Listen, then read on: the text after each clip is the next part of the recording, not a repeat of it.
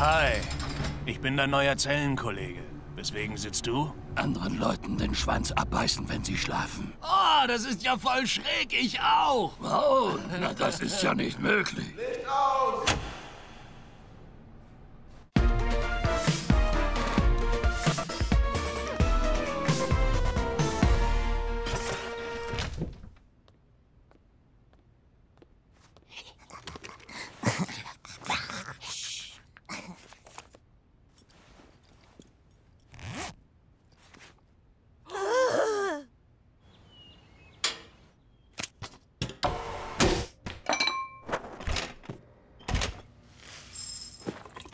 Und jetzt zum köstlichsten Teil meines Tages. Ah, Montag. Hallo, Trip Tank. Hier ist Esther Felcher. Ich bin 87 Jahre alt, aber ich bin total auf Zack. Oh, wir hören immer gern von unseren älteren Fans. Leider im Rollstuhl, aber ich bin 89 Jahre alt und immer noch voller Leben. Das ist großartig. Ich bedauere nur eins mit meinen 94 flott gelebten Jahren. Ich bedauere, dass ich nie LSD genommen habe. Oh, damit hätte ich nicht gerechnet. Kannst du ein paar Trips hier ins Pflegeheim rüberbringen und wir schmeißen sie ein? äh, Komm schon, Schätzchen, lass uns Trips einschmeißen.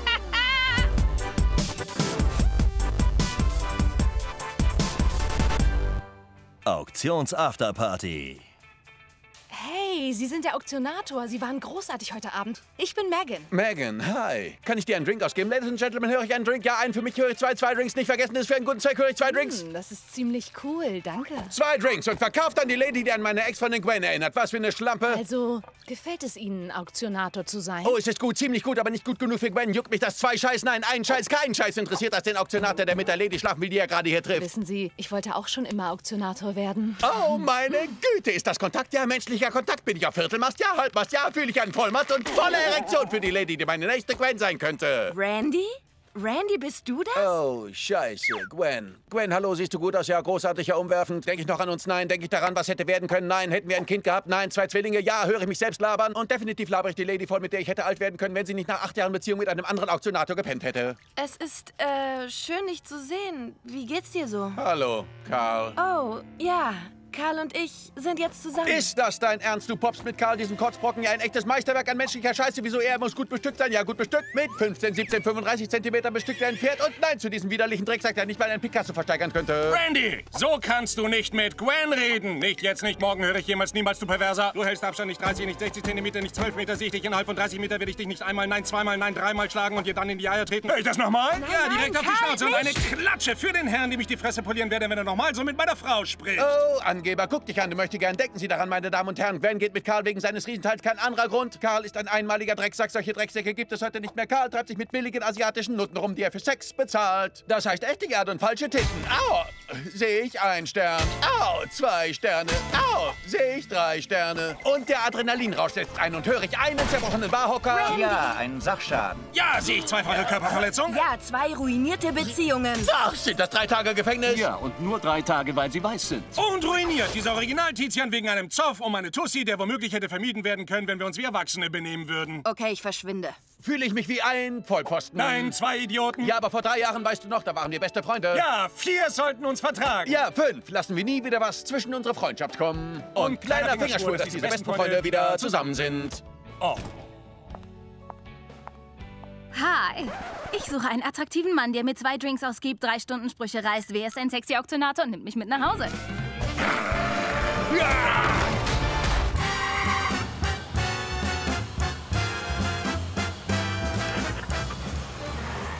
Also jedenfalls, sie schreit, ich komme, ich komme, als ob mich das interessiert. Ein Respekt, diese Bräute, ich sag's dir. Los, komm, was stehst du nur einfach beschissen da rum? Jetzt hilf mir mal. Was soll ich denn machen? Nimm den Sack. Ich geb dir gleich mal einen Sack.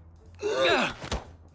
Hey, Polly, bist du sicher, das ist die richtige Adresse? Was? Bin ich etwa ein Arschloch? Tony Cannelloni hat mir gesagt, das ist die beste Reinigung in der Stadt. Päh. Soweit ich gehört habe, ist dieser Kerl skrupellos. Er lässt seine schmutzige Wäsche verschwinden, wenn du verstehst, was ich meine. Hallo Jungs, was kann ich für euch tun? Tony Cannelloni hat uns hierher geschickt. Er hat gesagt, sie äh, lösen Probleme. Nun, schon möglich. Mal sehen, was Sie da haben. Oh mein Gott! Ist es das, was ich denke, was es ist? Hey, was soll ich sagen? Es wurde ein bisschen schmutzig. Ich musste ein paar Beine brechen, wenn Sie verstehen, was ich meine. Oh! Ähm, in was für einer Branche arbeiten Sie denn? Abfallbeseitigung. Sie wissen schon, unter anderem. Ich meine, vergessen Sie, was wir tun. Was wir von Ihnen brauchen, ist ein kleiner Frühjahrsputz, hä?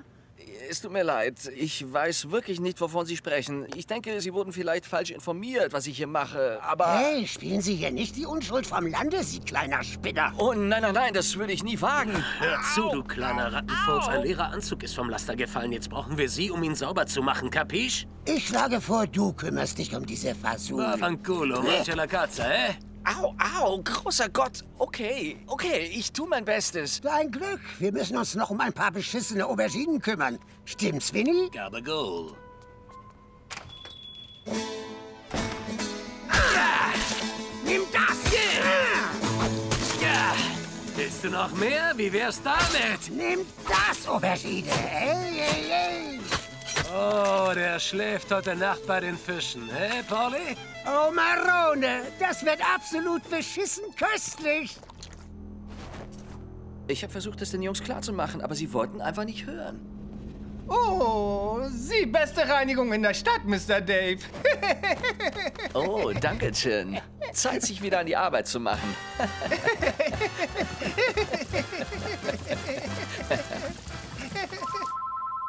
Moment bitte.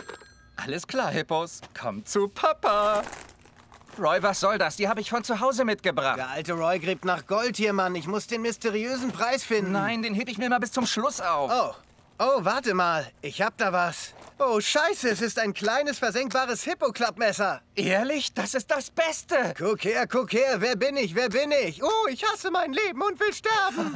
Wie geil. Du bist Greg aus der Buchhaltung. Ich hab noch einen. Guck mich an. Ich verstümmle meine eigenen Genitalien, um Aufmerksamkeit zu erregen. Oh, scheiße. Jetzt bist du Toni aus der Buchhaltung. Ich liebe dieses Messer, Mann. Oh, ich bin dran. Ich bin oh, dran. scheiße, nein. Du musst es mir erst wegnehmen, Mann. Komm schon. Versuch es mir gib's her. wegzunehmen. Na, mach schon.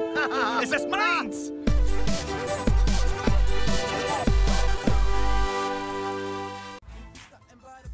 Alter, wann kommt die Stripperin denn endlich? Echt jetzt? Nicht geht über sich aufgeilen mit all deinen Buddy-Freunden. Sie ist hier. Oh ja, es geht los. Hey allerseits, wer hat Lust zu lachen? Was zur Hölle? Stand Up Dad. Hey Frankie, ich bin hier in der Chestnut Das Street. ist scheiße! Ich wollte nur mal fragen, bin ich an der richtigen Adresse? Oh, ich sehe, was ich gemacht habe. Ich habe dich mit Amber vertauscht. Bitte Applaus für die lustige Komikerin Amber. Oh Mann. Okay, Leute, ich habe schlechte Nachrichten. Niemand weiß, wo Amber ist. Oh, komm schon! Aber ich habe auch eine gute Nachricht. Was? Ich werde euch Jungs 15% mehr Comedy geben. Umsonst. Verarschung! Na schön, Leute, kommt schon. Seid mal locker. Seid mal locker. Nicht so lange Gesichter. Macht euch locker. Gib mir die Faust. Gibst du mir die Faust? Abstand, Alter. Ha, nur Spaß. Ich habe was mitgebracht. Hey, habt ihr Angst vor blinde Kuh? Vor blinde Kuh oder Topfschlagen? Dann seht euch das an. Ich habe die neueste Augenbinde. Buh. Ich bin immer noch spitz. Okay, schon gut, schon gut. Da steht ihr nicht drauf. Aber äh, vielleicht habt ihr es auch nicht verstanden. Ich zeig's nochmal. Das hier ist nämlich eine Augenbinde. Augenbinde. Das macht alt. Das ist ein kleines Wortspiel, ein bisschen um die Ecke gedacht. Ach, was soll's. Wir hätten jetzt eine Runde tanzen sehen können. Ihr steht auf eine Runde tanzen? Ja. Aber warum sagt ihr das nicht gleich? Das war meine erste Runde. Verpiss dich! Oh nein, nicht meine Harry Potter Requisite. Jetzt brauche ich eine neue Schlussnummer.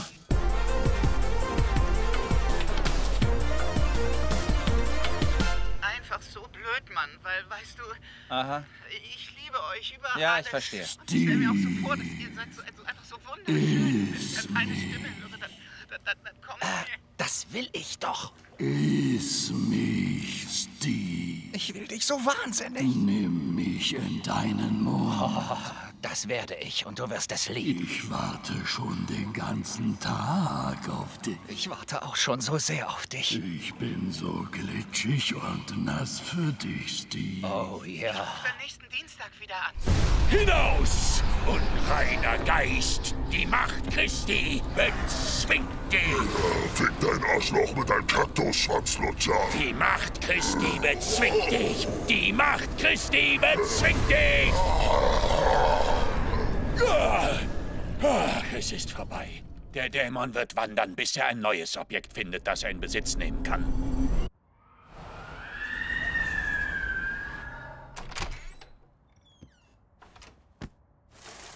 Oh, endlich! Oh, oh, du bist sogar noch schöner als auf deinem Foto. Deine Mutter lutscht Satans Schwanz. Und so viel lebensechter als in der Beschreibung. Ich muss gleich online gehen und dir eine 5-Sterne-Bewertung geben. Aber ja, ich habe das alles nur für dich getan, weil du es wert bist. Ich hoffe, du magst teuren Wein. Victus misa est. Mmh, ist das Französisch? Die Sprache der Liebe. Ich reiß dir mit meiner Zunge den Augapfel raus und pisse auf dein Herz. Ich fühle mich dir schon ganz nah, als würde ich dich mein ganzes Leben kennen. Fühlst du das auch? Schieb es dir in den Arsch, Flachwichser. Wie oft hast du die Trilogien schon gesehen? Lass mich raten, eine Million Mal? Ich werde es genießen, dich zu töten. Weißt du, meiner Meinung nach, und ich denke, das ist nicht die Norm, aber ich denke, Sith ist der beste Film in der Serie. Weißt du auch warum? Ich beschwöre Satan, den hurenden Gott der Unterwelt, mir zu helfen, diesen Versager abzuschlachten. Weil er von Liebe handelt. Wird es etwa warm hier drin? Oh Gott, oh Gott, du fühlst dich so gut an, Baby. Ich werde dafür sorgen, dass du irgendwo der Hölle ermordet wird, abhauen. Boah, ich sagte, ich werde dafür sorgen, dass du im schlimmsten Sud der Hölle schmoren wirst, Abschau. Ah, ich werde dich nie wieder loslassen. Ich werde für immer in dir bleiben. Hilfe! Hol jemand einen Priester! Ich will raus! Ich will raus!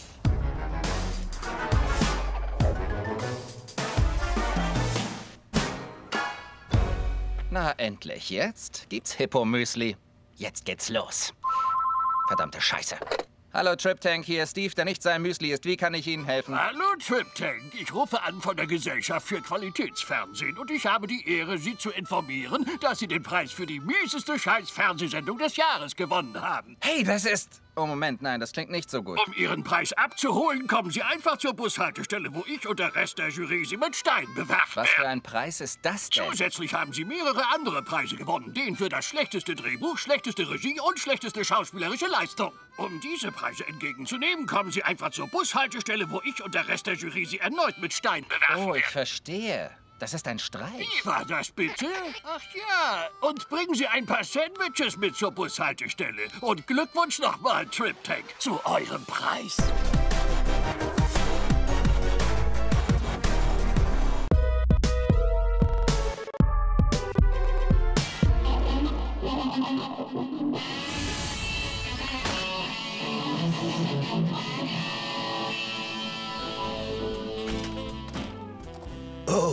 Weiter so, K-Doc. Du packst das. Du wirst es schaffen. Was schaffen, Karl? Bitte sag mir, du führst keine Strichliste über deinen Stuhlgang. Sei nicht albern. Das ist die da. Ach, ich dachte, das war die Strichliste dafür, wann du die Toilette geputzt hast. Oh, wow. Da lagst du aber ganz schön daneben. hä? Pass mal auf. Das ist eine Wichsstrichliste von jedem Orgasmus, den ich je hatte. Sag mir, wovon zum Teufel du da redest, Mann. Komm schon, bei deinem hunderttausendsten Orgasmus erreichst du ein höheres Bewusstsein. Das weiß doch jeder. Niemand weiß das, weil das Quatsch ist. Also, ich bin bereit und du solltest es auch sein. Wie viele Schuss hast du auf Lager? Was? Keine Ahnung, wen interessiert das? Meine Libido erfordert einen einzigartigen sexuellen Trigger, Trigger, Trigger. Trigger? Oh, Trigger. Alles klar, schon gut, du hast einen Trigger, Alter. Komm rein, Gail, ich hol deinen Kopf. Hey, Anu.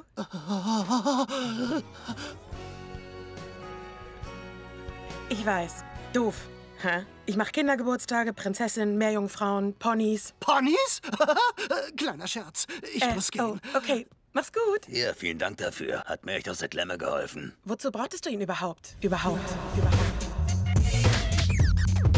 Oh Gott! Warum zeigst du mir das? Oh, warte auf das Ende. Das ist der Förder. Pony. Voll ekelhaft. Ah, das stinkt, als ob du in einen Wischmopp ejakuliert hast. Mir wird schlecht. Was zur Hölle hast du mit meinem Ponykopf gemacht? Guck doch einfach bis zum Ende, dann weißt du's. Das sieht so gut aus. Oh, oh verdammte Scheiße, ich flipp. Besetzt! Anu, Anu, mach auf! Es ist ein Notfall! Du musst kotzen, Mann, mach auf! Warte, Moment! Ich brauche nur noch ein paar Sekunden. Schwinge! Oh Gott, oh Gott! Bäh. Abgefahren, was hier so abgeht. Was für ein Scheiß! Wie seid ihr denn drauf? Lass mich raus hier! Ich bin so verdammt stolz auf dich, Mann. Gib mir fünf.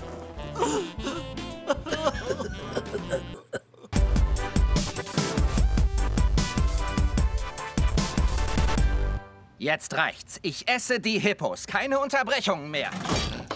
Was? Was zur Hölle? Roy, was tust du Ich da? muss unter deinem Tresen wischen, Mann. Das ist voll dreckig da drunter. Hör auf, Alter! Nee, Mann. Nur noch ein Ruck. Hoch damit!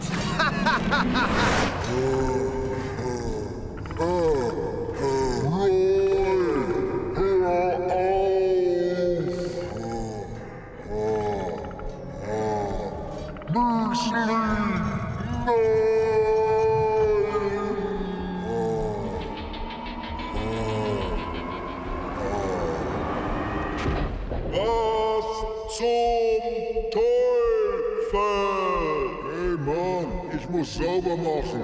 Ich komme hier mit Mädels her. Bethiffer, Fressmeile. Ich muss auf jeden Fall was essen vor dem Film, sonst stinken meine Fürze nicht genug, damit sich keiner neben uns setzt. Das ist eine gute Idee. Ich weiß, Bitch, ich bin voll schlau. Furz, Abwehr, Schild. Ich hätte nach Harvard gehen sollen.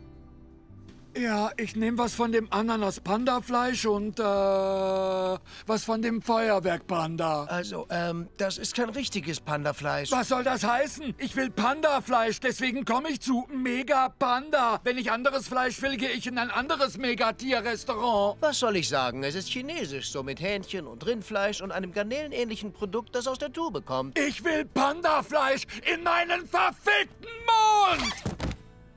Wenn ich das nicht kriege, ist das irreführende Werbung und ich werde Ihre Fake-Panda-Bude verklagen. Ja, also, um es kurz zu machen, Mega Panda hat meinen Mund zehn Jahre lang mit Fleischgeschmacklügen vergewaltigt. Das äh, ist ein schwerwiegendes Unrecht. Also denken Sie, unsere Klage hätte Erfolg? Ja, die Situation ist ähnlich wie bei einem früheren Fall, wo ich dich Spots verklagt habe. Und? Sagen wir nur, Sie haben jetzt mehr Dicke.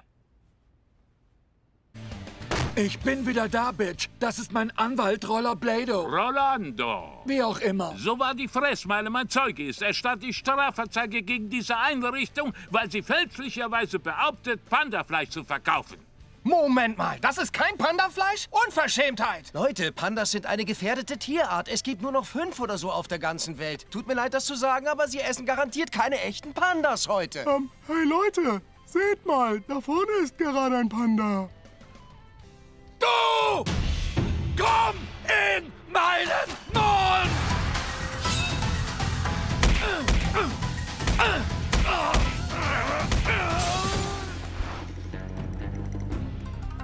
Rein in meinen Mund, du blöder Panda! Ja! Oh mein Gott! Ich bin der Panda! Ich bin der Panda! Ist Ihre Rechnung für unsere Anwaltsdienste. Ja!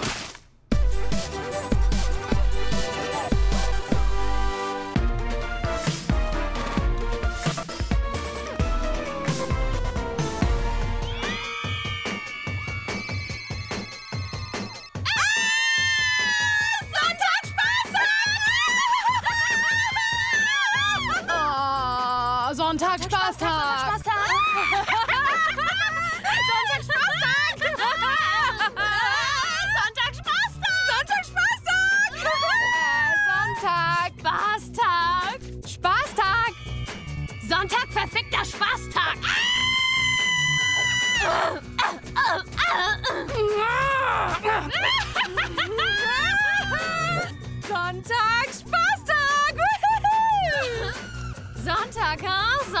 Sonntag, Spaßtag.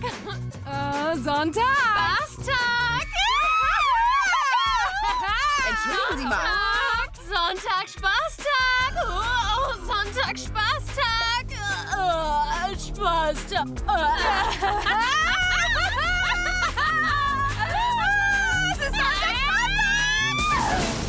Sonntag, Spaßtag.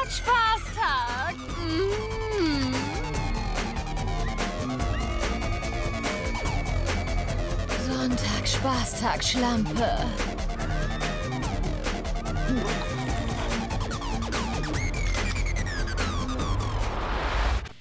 Kannst du mir helfen, ein paar Ratten aus dem Luftschacht zu jagen? Du bist der Einzige, dessen Hüften schmal genug sind. Die Katze, die ich da oben reingeworfen habe, ist abgekratzt. Jetzt reicht's. Es reicht. Ich habe genug davon. Ich will einfach nur in Ruhe mein Müsli essen. Entspann dich. Wer hat dir denn ins Müsli geschissen? Endlich.